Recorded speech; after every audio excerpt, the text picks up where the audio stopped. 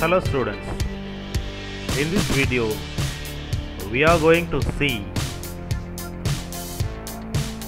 poem comprehension.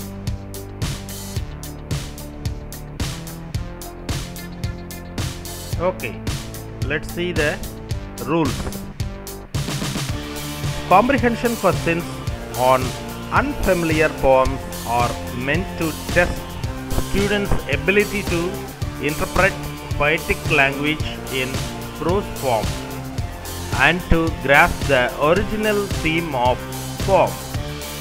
The students are expected to read the poems and answer the questions based on their understanding of the poem.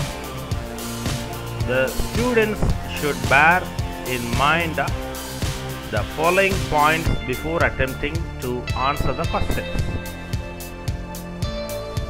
So, the poem will be given and the poem may be unfamiliar to us. And we have to read the poem carefully. Then we have to answer the question. So the rules are read the poem carefully. Try to get a general idea of the subject. Then read the poem for the second time making a detailed note of the figures of speech some questions could be asked to identify or explain some of the figures of speech then Read each question and perceive its importance. Then the answer should be in your own words. Okay. Then keep yourself close to the original idea of the poet. Don't impose your ideas on the poem. Okay. So we have to give the original idea of the poet. We should not give our own ideas on the poem. Okay. Let's see the poem. The question will be like this.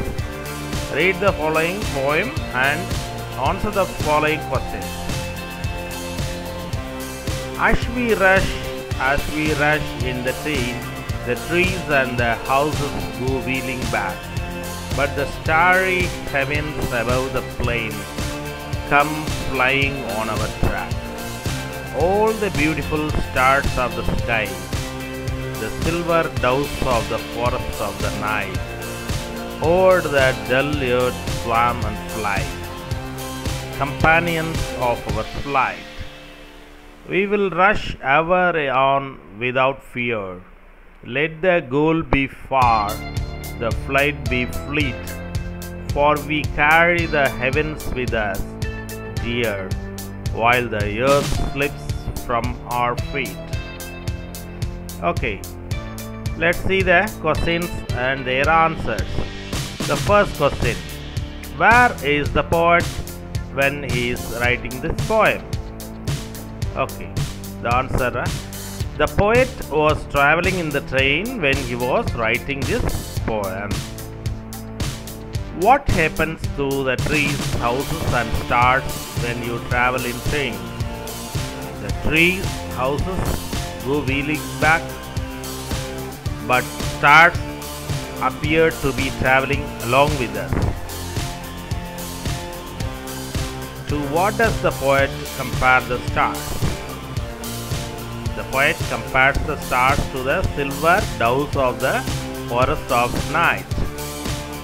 In the first stanza and the last stanza, the poets talk about heavens, but there is a difference. What is it?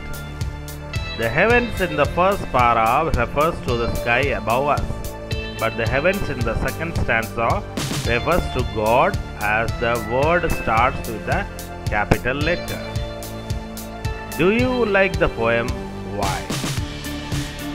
Yes, because uh, it reminds me of my train journey.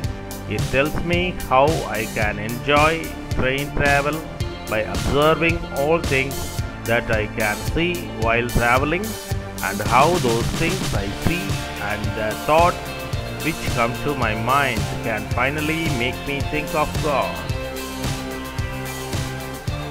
That's all about poem comprehension. Thank you students.